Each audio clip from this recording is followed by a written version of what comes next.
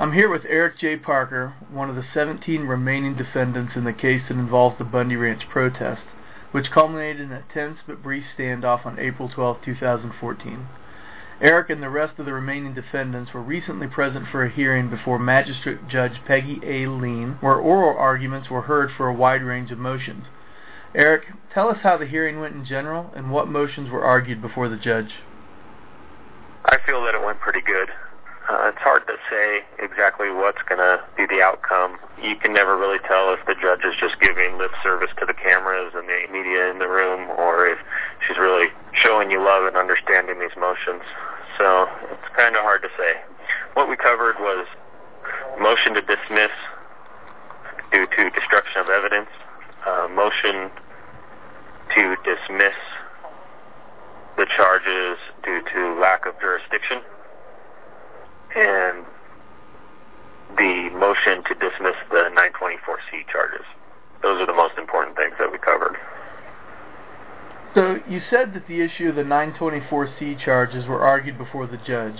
And for those that don't know, a 924C charge is an enhancement to another charge that carries substantial, stiff, mandatory minimum sentences that must be served consecutively or one after the other. A 924C is commonly known as use or carry of a firearm in a crime of violence. The multiple 924C charges do two things in this case. One, they inflate potential prison terms to effective life sentences. And two, the mandatory minimums are one of the factors, per the Bail Reform Act of 1984, that give rise to a preponderance of evidence that no combination of circumstances exists that will ensure a defendant will report for trial. In short, the penalties attached to multiple 924C charges make pretrial release almost impossible. Eric, tell us about some of the arguments to get these 924C charges dropped. Well, uh, let's see.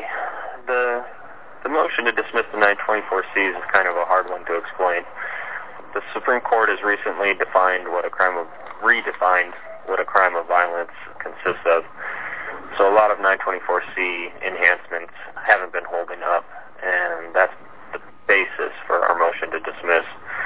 The motion was argued by the public defenders, who did a really good job as far as I could tell. Uh, it all seems to have come down to the definition was found to be constitutionally vague, or what they call constitutionally vague. The decision is commonly referred to as the Johnson case. And basically, the court found if you can perpetrate the alleged crime without physically hurting someone, then it's not a crime of violence. In that, you can't add the enhancement of use or carry of a gun in a crime of violence to said alleged crime. In our case, they attached four enhancements, making the mandatory minimum over 80 years if we were found guilty. The prosecution attached them to the charges of conspiracy, which is basically talking or planning a crime, threatening, which is a communication, extortion, which is a threat, which is still a communication. The only one that's not a no-brainer is assault.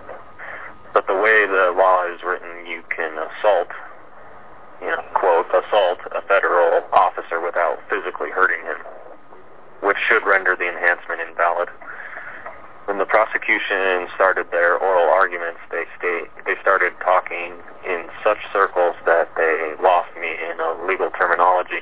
They quoted laws and court rulings. Eventually, I leaned over to my lawyer and asked if they were doing it on purpose. About that time, the prosecutor was reading out of a legal book. He lost his place and got tongue-tied and seemed to confuse himself. My lawyer looked at me and we decided they were trying the old baffle with bullshit.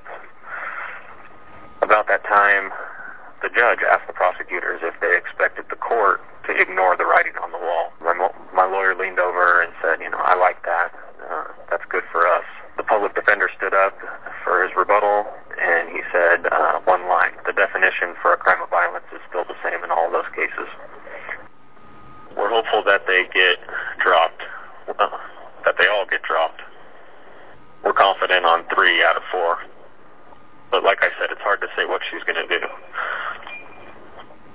You also mentioned that there was a motion to dismiss, and we know that Cliven Bundy has a motion to dismiss the entire case based on issues related to jurisdiction. Uh, his attorney has filed several motions that present a very interesting opinion on the matter. Can you explain where Cliven Bundy is coming from and how it was argued during the hearing?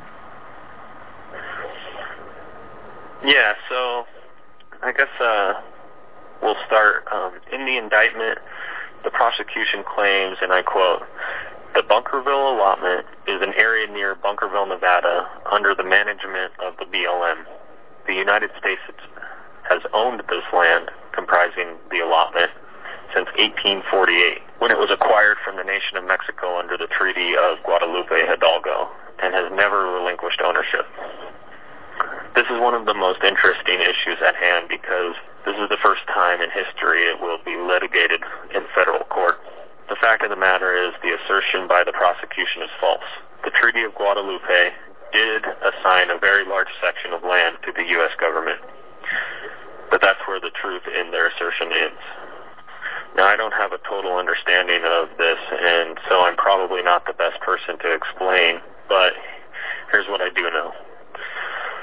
That land, after the transfer in 1848, was broken into territories. In 1864, Lincoln made Nevada a state. In 1866, the Arizona Territory gives what is now Clark County directly to the state of Nevada. The Bunkerville allotment being in that gift becomes part of the sovereign state of Nevada. This action was ratified by the 39th Congress, Session 1, Chapter 73, 73 sorry, in 1866, meaning this land was relinquished to the state. It is not owned by the United States. The only way they can claim jurisdiction over the land and its use is through contract, which Cliven has none. He has not had a contract with the BLM since 1993. What does all this mean? Well, if there is no contract, then there is no grazing fee. If there is no grazing fee, then there is no grazing fee debt.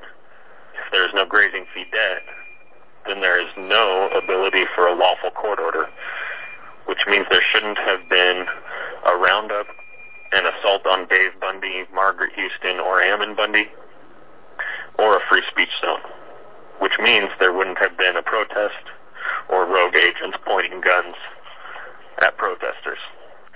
So after the defense lawyers made all these points, it was the prosecution's turn to re- rebut. Only since this has never been litigated, there was no case precedent for them to fall back on. And since all the points about land and jurisdiction are cut and dry, proven with historical documentation, there was no debating these. The prosecution's answer to the motion was but, Your Honor, they used violence. At which point, the judge, God bless her, told them that they can no longer use such inflammatory language without proof of real violence. So, what the outcome will be, I'm not sure, but uh, it was very interesting. Finally, uh, there was a motion to dismiss based on the destruction of evidence. Um, tell us about the substance of this motion and how it was argued in the hearing. So after the BLM pulled out of the impound area, the local trash collecting company picked up uh, the dumpsters. In, in the dumpsters, they found numerous garbage bags full of shredded papers and a few that didn't make it to the shredder. Being the small town that it is, the garbage man contacted the Bundys and asked if they wanted the bags. What they found was lots of destroyed documents and notes. In the oral arguments, the prosecution claims all the papers were duplicate documents that we can subpoena or contact info for the contract cowboys rounding up the cattle. They claimed they were afraid the protesters would get them when they, quote, overran the impoundment area, uh, which was their incident command post, as they refer to it. There's a few things wrong with this story. First, there was no attempt to overrun the impound area. The sheriff told everyone the BLM was leaving earlier that day at the stage. Ammon told the agent in charge while he was in the wash that the protesters were staying in the wash and that they weren't going into the impound area without the sheriff. So the idea that uh, mass shredding was because they were scared these papers is pretty asinine. Uh, they could have loaded the papers into trucks with everything else.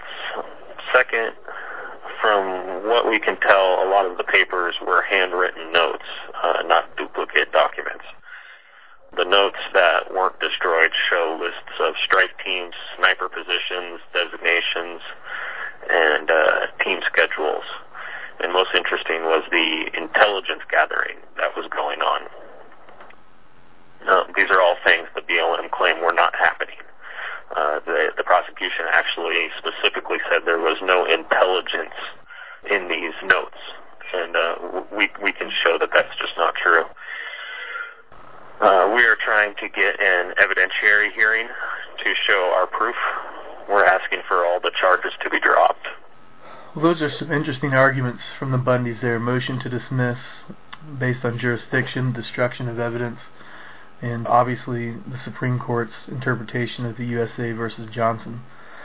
So, is there anything else that you'd like to share with people as a departing remark here? We're obviously going to watch and see uh, how some of these motions come out, and we're going to see how the judge rules, and we're going to try to get a hold of some audio from that court hearing and see if we can just compare uh, the sentiment that she expressed there and, and how things come out through her rulings. So, are there is there anything else that you'd like to share? Um, yeah, uh, we also covered severance, which is uh, the the way we're going to be tried and and who's going to be tried in what groups. We argued that uh, we all wanted to go together, which was, you know, the general consensus was everybody wanted to go together.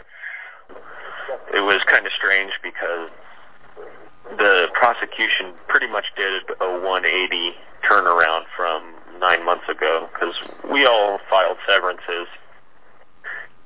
The government opposed every one of them. The prosecution opposed every one of them. I have an eight-page uh, opposition to my severance request, which was for um, the Scott, Steve, and myself to go because we were together the whole time. We drove down there together. They're the only ones I knew prior to going to the ranch. You know, I, I had no connection with anybody else there, so that was my severance. I have an eight-page opposition to that severance, and and now the government came and said, "Hey, we want to break this into three smaller bites." The the interesting thing to note was, as soon as that was brought up, the judge actually said, "It's no secret that the government."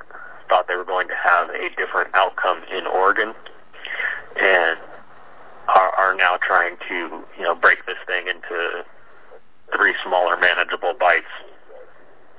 So at the time, we kind of thought that we were going to at least have two two hearings instead, but um, she she did rule on that already, and, and she is breaking it into three.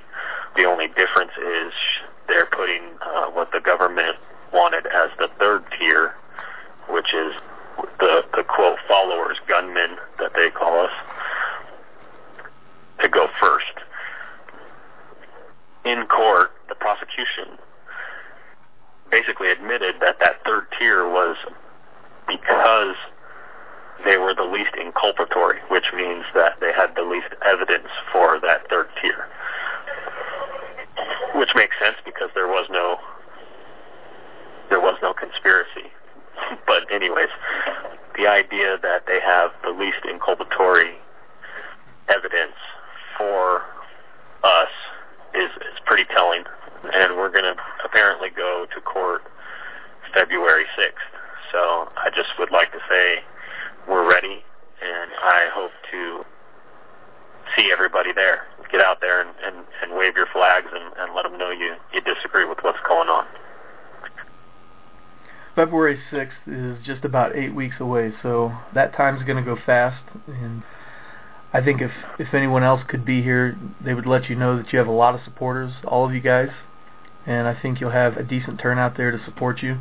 And of course, we're, we're all in your corner, and we've all got your back. So keep your head in the case and stay strong. And thank you for the time today. Yeah, thank you.